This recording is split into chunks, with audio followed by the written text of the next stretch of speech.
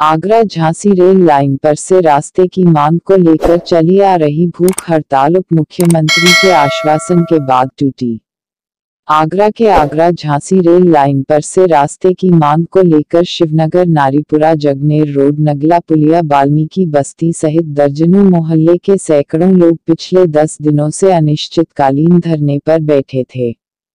तीन दिन चली भूख हड़ताल के बाद क्षेत्रीय विधायक और प्रदेश सरकार के राज्य मंत्री डॉक्टर जी एस धर्मेश ने संघर्ष समिति के पाँच पदाधिकारियों का एक प्रतिनिधिमंडल उत्तर प्रदेश के उप मुख्यमंत्री केशव प्रसाद मौर्य से लखनऊ में मिलवाया था।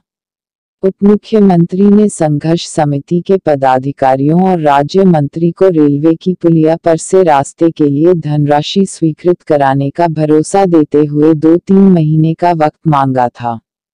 उप मुख्यमंत्री ने बताया कि रेल मंत्रालय द्वारा पुलिया के निर्माण के लिए केंद्र सरकार द्वारा दी जाने वाली राशि के लिए स्वीकृति दे दी है। राज्य सरकार अपनी ओर से लगभग 9 करोड़ रुपए रेलवे को देगा। इसके साथ ही पुलिया का निर्माण कार्य शुरू हो जाएगा। डॉक्टर जी एस धर्मेश ने तीन दिन से भूख हड़ताल पर बैठे आंदोलनकारियों को जूस पिलाकर के अनशन को समाप्त कराया और लोगों को भरोसा दिलाया कि एक समय सीमा के भीतर वह रेलवे लाइन पर से रास्ते के निर्माण को शुरू कराने में पूरी ईमानदारी के साथ मेहनत करेंगे। लोगों ने उप मुख्यमंत्री और डॉक्टर धर्मेश के द्वारा दिए गए आश्वासन पर भरोसा व्यक्त करते हुए 90 दिनों के लिए धरने को स्थगित कर भूख हड़ताल को समाप्त कर दिया। आगरा से एडी न्यूज़ 15 सच आप तक के लिए सद्दाम खान की रिपोर्ट हमसे जुड़े रहे हर खबर के लिए।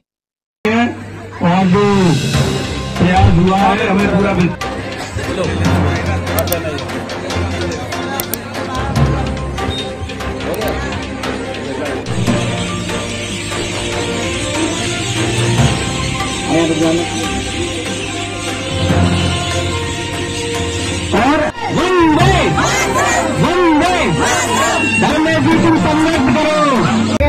करो। आज जो पिछले दस दिन से धरना चल रहा था तीन दिन से अनशन चल रहा था। लोग यहाँ पुलिया के निर्माण की मांग को लेकर बैठे थे। आप यहाँ आए- आज अंदर देखिए नगला पुलिया नरीपुरा राधे वाली गली।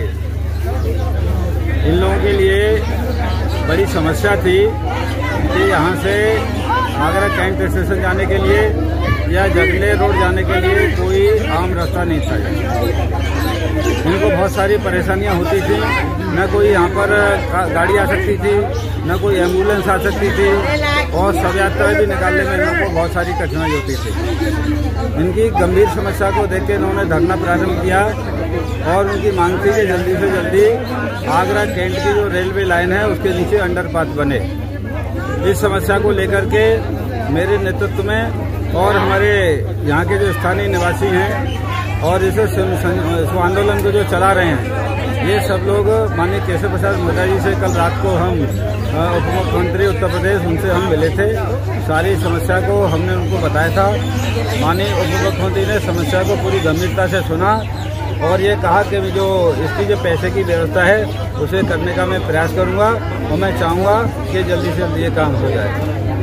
तो आज सब बात जो हुई है और इसे एक सरकारी प्रक्रिया से समय लगता है। तो धरने पर जो लोग बैठे थे, महिलाएँ मातृशक्ति बैठी थी, उनको ये सब बात बताई है कि तीन चार महीने के अंदर ये प्रक्रिया पूरी होगी और अंडरपाथ आपका जब बनेगा, सरकारी जो प्रक्रिया होती है उसमें समय लगता है। तो इस वजह से आज यहाँ पर हमारे तीन पुरुष और तीन महिलाएँ ये भूख और तल पर बैठी थी। आज उनका जूस पिला करके इस अनशन को समाप्त किया है और मैंने ऊपर अपने ज़िम्मेदारी ली है और हमारे अन्य साथियों ने भी ज़िम्मेदारी ली है। जो यहाँ की विकास समिति है वो ये, ये आंदोलन को चला रही थी। हम सबकी एक सामूहिक ज़िम्मेदारी है कि हम सब लोग इसमें प्रयास में लगेंगे और जल्दी से जल्दी समस्या का समाधान पिछले तीन दिन से आप यहाँ रास्ते की मांग को लेकर के भूख हड़ताल पर थे। आज मंत्री जी आपके बीच में आए और आपका अनशन करवाया है। उन्होंने भरोसा दिया है कि पुलिया पे से रास्ता बन जाएगा। तो क्या आप उनके द्वारा दिए गए भरोसे पर विश्वास करके आपने अनशन तोड़ा कोई भी काम करने के लिए टेस्ट तो करना पड़ता है। और जिस तरह से हमें भरोसा दिया है उससे हमें लग रहा है कि हमारा काम हो जाएगा। और अच्छा अगर नहीं होता है तो फिर क्या करें? फिर से हम अपना आंदोलन और अब दूसरे तरीके से करेंगे। यहाँ ना बैठकर हम लाइन पे बैठेंगे।